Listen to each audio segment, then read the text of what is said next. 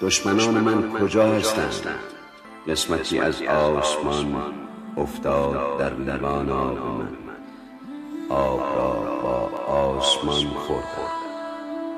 لحظه های کوچک من خواب های نقره می من کتابم را